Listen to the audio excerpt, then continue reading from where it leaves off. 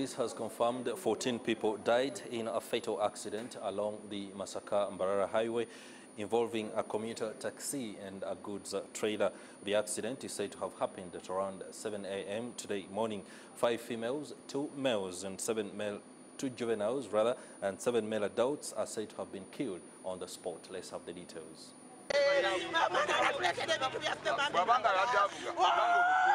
According to Muhammad Nsubuga, the Masaka Regional Police spokesperson, the trailer collided with the tax that heading to Kampala. What trailer badde overtaking a bus.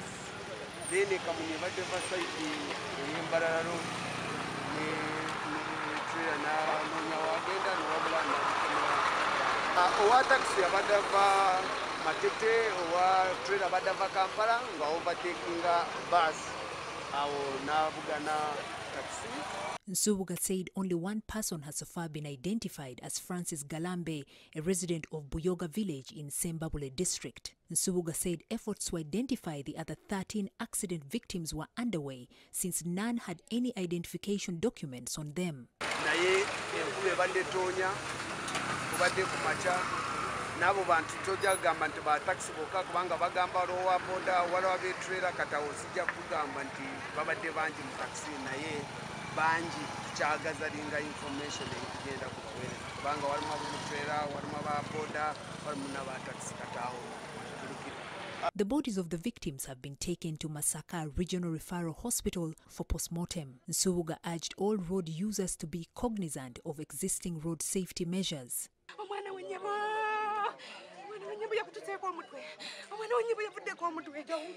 The Kampala Masaka Road connects Kampala to Masaka district and is one of the busiest in the country with an average daily traffic count of 20,908 vehicles. It is the most accident prone road in Uganda, recording between 200 and 300 fatalities annually. The accidents are attributed to several factors, including overspeeding, failure to observe traffic rules, overloading of passenger vehicles, driving while intoxicated, and lax laws against traffic offences.